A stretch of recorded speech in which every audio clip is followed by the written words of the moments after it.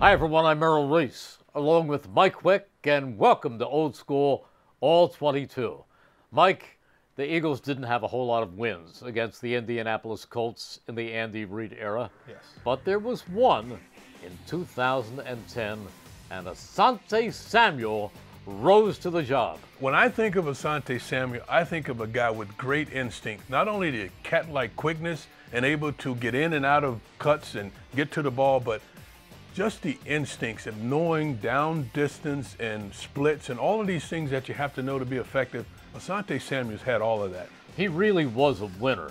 Regardless of which team he played for, he always came up with big plays. Let's watch some Asante Samuel's footage.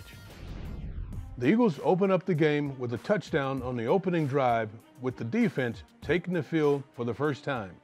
Asante Samuel had every intention of giving it right back to Michael Vick and the offense.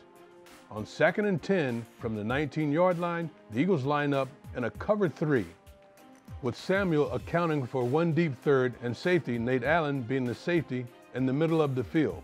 The Colts ran two vertical routes right down the right side, and Manning wanted to hit his tight end, Jacob Tamme, down the seam. Asante, who was supposed to be occupied by the outside receiver, saw the whole thing happening.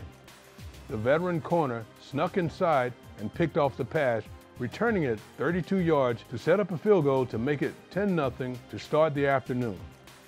Fast forward now to the final possession of the game. The Eagles are up by two. It's third and 10 from the 41 yard line.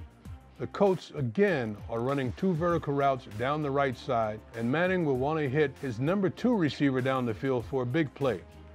This time, the Eagles are in two man coverage with Asante as the free player over the top, acting as a safety in that part of the field. The ball is snapped. Samuel reads the route developing in front of him, and he trusts his eyes following them to the catch point to reel in his second interception to seal the game and the victory for the Eagles. I remember a few things about that game.